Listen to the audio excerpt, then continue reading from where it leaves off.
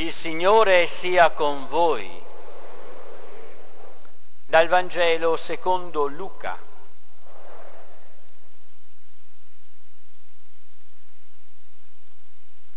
In quel tempo l'angelo Gabriele fu mandato da Dio in una città della Galilea chiamata Nazareth a una vergine promessa sposa di un uomo della casa di Davide di nome Giuseppe.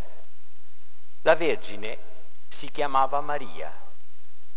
Entrando da lei disse, rallegrati piena di grazia, il Signore è con te. A queste parole ella fu molto turbata e si domandava che senso avesse un saluto come questo. L'angelo le disse, non temere Maria, perché hai trovato grazia presso Dio. Ed ecco, concepirai un figlio, lo darai alla luce e lo chiamerai Gesù. Sarà grande e verrà chiamato figlio dell'Altissimo. Il Signore Dio gli darà il trono di Davide, suo padre, e regnerà per sempre sulla casa di Giacobbe e il suo regno non avrà fine. Allora Maria disse all'angelo, come avverrà questo? Poiché non conosco uomo. Le rispose l'angelo, lo Spirito Santo scenderà su di te e la potenza dell'Altissimo ti coprirà con la sua ombra.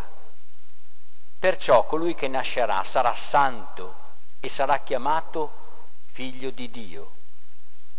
Ed ecco Elisabetta, tua parente, nella sua vecchiaia, ha concepito anch'essa un figlio e questo è il sesto mese per lei che era detta sterile.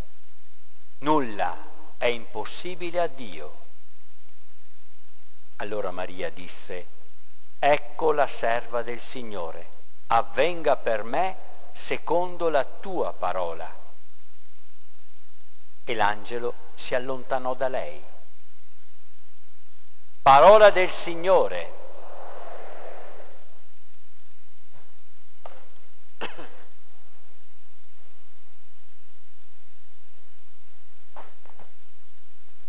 Che bello che è celebrare queste feste. Credo che le sentiamo, le viviamo, le portiamo nell'anima tutti quanti. Anche perché quando guardiamo all'immagine, sono belle queste immagini, no? Vediamo tanta e tanta umanità. Oggi non siamo venuti a celebrare una dea, siamo venuti a celebrare una donna mamma.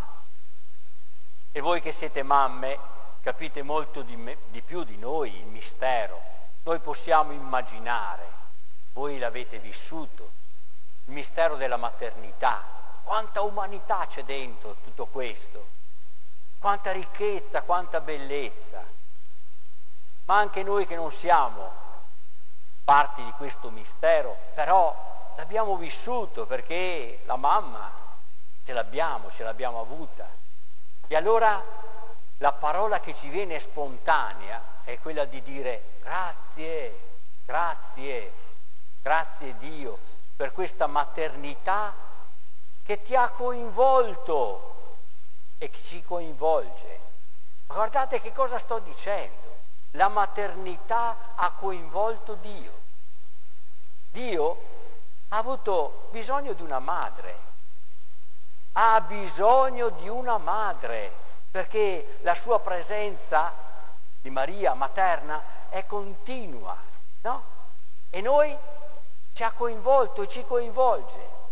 La presenza materna è sempre vicina, no, vicina a noi. Grazie Signore. Vedete, il grande pericolo di queste feste è quello di mettere un'aureola sulla testa e quindi di portarci via la Madonna da quella che è la maternità, l'umanità, mentre invece noi stiamo celebrando una pienezza di umanità.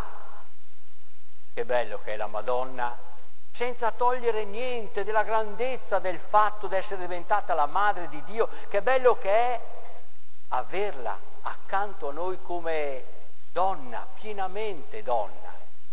Avete sentito il Vangelo come ce l'ha riportata in questo senso la Madonna? Vi leggo solo l'inizio, perché ci sarebbero tante altre cose, ma solo l'inizio quest'oggi vorrei sottolineare. L'angelo Gabriele fu mandato da Dio in una città della Galilea chiamata Nazareth a una vergine, promessa sposa di un uomo della casa di Davide di nome Giuseppe.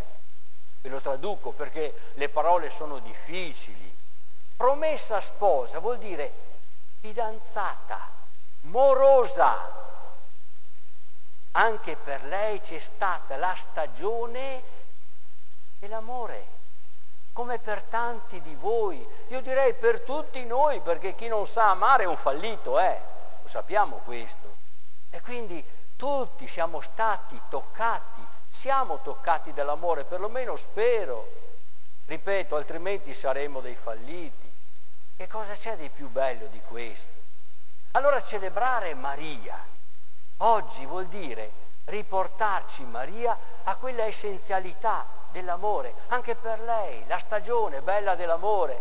A un certo giorno Giuseppe le ha detto ti amo e lei è diventata rossa, come siete diventate rosse voi alla prima volta che il vostro moroso vi ha detto te vuoi ben, te dà un baso.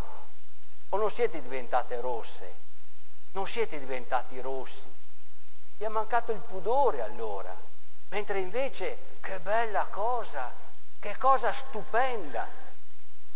Quindi anche lei, diventata rossa, ha risposto, anch'io ti amo. Capite la grandezza, la bellezza di questa donna, innamorata, si è appassionata, una passione che l'ha accompagnata poi durante tutta quanta la sua esistenza, la stagione dell'amore che l'ha toccata.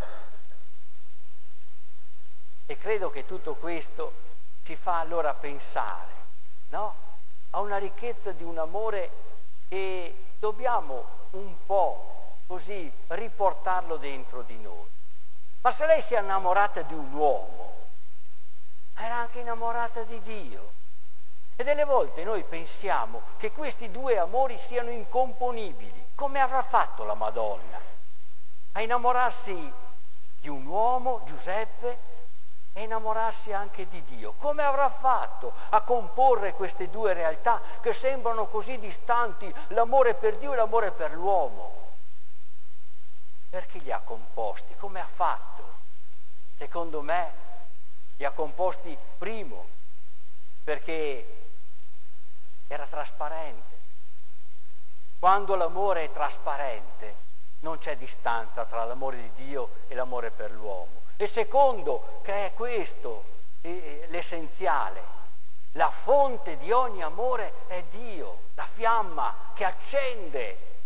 Maria è stata accesa da questa fiamma proprio per Dio e quindi, e quindi è stata capace di amare anche un uomo Giuseppe e poi, e poi il suo cerchio si è allargato, è diventata la madre di tutta quanta l'umanità. Vedete? Questa è la grandezza, credo, e la bellezza di Maria. Grazie Signore per lei. Oh, però, attenzione, eh, perché in lei possiamo capire proprio la ricchezza di questo che sto dicendo, la ricchezza dell'amore. Amare, voce del verbo, morire. Non, non, non spaventatevi, lo ripeto, amare è voce del verbo morire. Sapete che l'amore viene proprio dalla morte. Amare vuol dire tu non morirai. Eccola la grandezza della Madonna. Si è avvicinata alla fonte dell'amore che è Dio e allora ha imparato proprio a vincere la morte, ma anche ha imparato il senso di una morte vera come donazione, perché chi ama impara a morire a se stesso, al suo egoismo. Amare vuol dire eh, una essenzialità, una fonte di tutto, che vuol dire allora io cerco la tua felicità, io non mi metto tra i tuoi piani, io sono discreto, mi tiro da una parte, non voglio farti del male, io ti promuovo sempre, io cerco veramente la bellezza e la ricchezza di te, del tuo bene. Dai che lo, lo diciamo ai nostri giovani questo. E lo diciamo perché ne hanno bisogno. Ma non lo diciamo solamente con le parole, anche. Glielo diciamo anche con la nostra vita, con il nostro modo di essere, con il nostro modo di comportarci, con le nostre famiglie, che questo l'hanno imparato e lo vivono.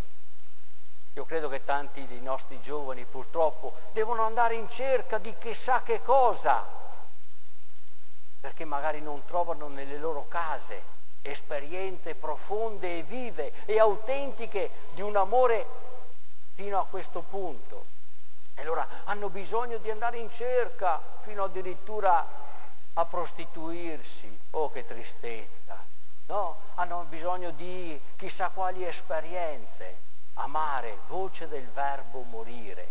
Che bella che è questa festa allora, che piena di umanità, che ricchezza che ci porta, che conversione anche ci richiede. Perché sì, ci richiede anche cambiare stile, atteggiamento, rapporti, magari vincere un po' di quello che sono le tentazioni pensare solo a noi stessi, ai nostri egoismi, a quello che noi eh, pensiamo che ci realizzi e invece si allontana da noi stessi, oltre che da Dio e dagli altri. Buona festa dell'Immacolata allora, carissimi. Che questa immagine di Maria ci tocchi, ci prenda per mano e ci accompagni con tutta la verecondia e il pudore che lei ha vissuto, con questo amore trasparente nei confronti di Dio e degli uomini, di quell'uomo, e ci insegna allora ad amare questa festa. La prima lettura ci ha portato lontani dall'amore.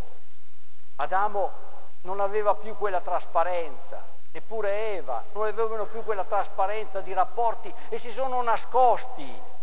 Dove sei Adamo? gli ha detto eh, nella prima lettura Dio. Dove sei? Eh, mi sono nascosto, ho avuto paura. Perché ci si nasconde? Quando manca la trasparenza, manca proprio la voglia di mettersi davanti a Dio, davanti agli altri. Ci scopre che siamo nudi. Chi ti ha detto che sei nudo? Ti ha detto il Signore. Addirittura poi Adamo, quando manca questa trasparenza, ha cominciato a fare così. È stata lei. E Eva che cosa ha fatto? È stato lui, il serpente. Non si è più responsabile. Quando manca questa trasparenza dell'amore, la colpa è sempre degli altri, non si assume mai la propria responsabilità. Capite che bella che è questa festa? Maria sia l'immagine di un amore che ci cambia nell'atteggiamento e nello stile di vita e di rapporti con gli altri e senz'altro anche con Dio. Buona festa dell'Immacolata a tutte e a tutti.